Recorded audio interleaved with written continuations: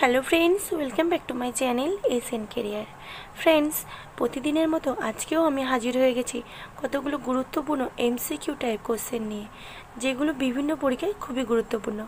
যেমন WB SSC group C group D WBP প্রভৃতি নানা পরীক্ষার জিকে টাইপ পোর্শনটা এখান থেকে তোমরা ক্লিয়ার করে নিতে পারবে। তাই ফ্রেন্ডস প্লিজ ভিডিওটা প্রথম থেকে শেষ পর্যন্ত দেখবে এবং প্রয়োজনীয় বন্ধুদের মধ্যে শেয়ার করে দেবে। আজকের প্রথম কোশ্চেন হলো, ভালো গম উৎপাদনের জন্য কমপক্ষে কতদিন তুহিন মুক্ত থাকা প্রয়োজন? অর্থাৎ, ভালো গম চাষের জন্য তুহিন মুক্ত পরিবেশ কতদিন থাকা, কমপক্ষে কতদিন থাকা প্রয়োজন? অপশান একে রয়েছে, একশো দশ থেকে একশো কুড়ি দিন। অপশান দুয়ে রয়েছে, একশো কুড়ি থেকে একশো তিরিশ দিন। অপশন তিনে রয়েছে, একশো পঁচিশ থেকে একশো তিরিশ দিন। অপশন চারে রয়েছে আশি থেকে নব্বই দিন। এখানে সঠিক উত্তর হবে অপশন এক, একশো দশ থেকে একশো কুড়ি দিন। একশো দশ থেকে একশো কুড়ি দিন তুহিন মুক্ত পরিবেশ থাকা প্রয়োজন। পরে পরের কোশ্চেন হলো, কোন গুপ্ত শাসককে ভারতের রক্ষাকারী বলা হয়? অপশন একে রয়েছে সমুদ্রগুপ্ত, দু নম্বর হলো বিক্রমাদিত্য, তিন নম্বর হলো স্কন্দগুপ্ত চার নম্বর হলো প্রথম চন্দ্রগুপ্ত।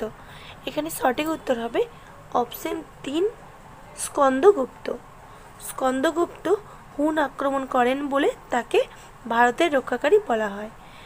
এই ঘটনা আমরা জানতে পারি কোথা থেকে না ভিতারে স্তম্ভলিপি থেকে।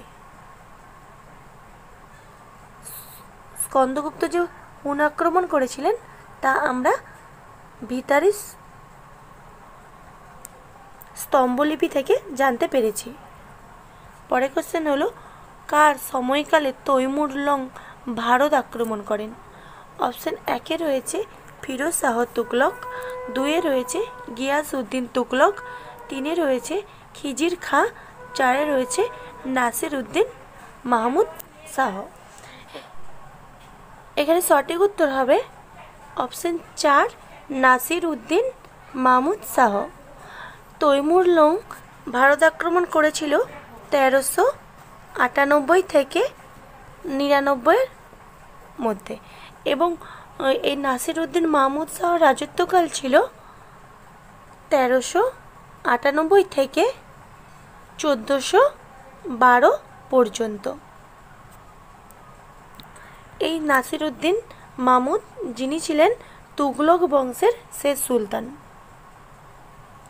পরে কোশ্চেন হলো, কাকে মুসলিম সমাজের রামমোহন বলা হয়? অপশন একে রয়েছে স্যার সৈয়দ আহমেদ খান, দুয়ে রয়েছে মোহাম্মদ আলী জিন্না, তিনে রয়েছে আবুল কালাম আজাদ, চারে রয়েছে কেউ নন। এখানে সঠিক উত্তর হবে অপশন এক স্যার সৈয়দ আহমেদ খান। পরে কোশ্চেন হলো, কত সালে রেল বোর্ড গঠন করা হয়? অপশান একে রয়েছে উনিশশো পাঁচ সালে, দুয়ে রয়েছে উনিশশো ছয় সালে, তিন নম্বর রয়েছে উনিশশো চার সালে এবং চারে রয়েছে উনিশশো সাত সালে। এখানে সঠিক উত্তর হবে অপশন এক উনিশশো সালে। উনিশশো পাঁচ সালে রেল বোর্ড গঠন করা হয়েছিল। পরে কোশ্চেন হলো মালনাদ কথার অর্থ কী?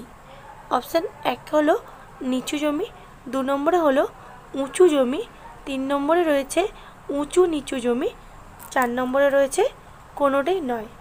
এখানে সঠিক উত্তর হবে অপশন তিন, উঁচু নিচু জমি। কর্ণাটকের এই উঁচু নিচু জমিকেই বলা হয় মালনাদ। এই কন্নড় ভাষায় এই মালনাদ শব্দের অর্থ হলো পাহাড়ি দেশ। মাল শব্দের অর্থ হল পাহাড় এবং নাদ শব্দের অর্থ হলো দেশ। কন্নড় ভাষায় এই মালনাদ শব্দের অর্থ পাহাড়ি দেশ। পরের কোশ্চেন হলো, কাকে জাতীয়তাবাদের দার্শনিক ও স্বদেশিকতার কবি বলা হয়? অপশন একে রয়েছে, বঙ্কিমচন্দ্র চট্টোপাধ্যায়। দুয়ে রয়েছে রবীন্দ্রনাথ ঠাকুর। তিনে রয়েছে অরবিন্দ ঘোষ, চারে রয়েছে চিত্তরঞ্জন দাস। এখানে সঠিক উত্তর হবে অপশন তিন, অরবিন্দ ঘোষ। অরবিন্দ ঘোষকে জাতীয়তাবাদের দার্শনিক ও স্বদেশিকতার কবি বলা হয়। এই উপাধি দিয়েছিলেন চিত্তরঞ্জন দাস। পরে কোশ্চেন হলো এইচআইভি এর উপস্থিতি জানা যায় যে পরীক্ষার দ্বারা। সেটি হলো, অপশন একে রয়েছে ই এল আই এস এ দুয়ে রয়েছে এ এস ও তিনে রয়েছে থলিশ্চ চারে রয়েছে পোল্যাকটিন এই এলিসা বা ই এল আই এস এ এর ফুল ফর্ম হলো enzyme linked immuno sorbent assay আমি এখানে লিখে দিচ্ছি দেখো এনজাইম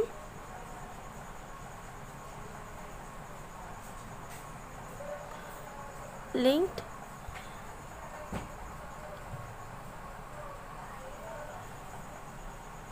ইমিউনো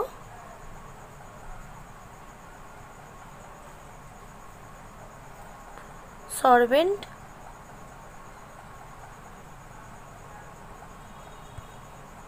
বেন্ট ऐसे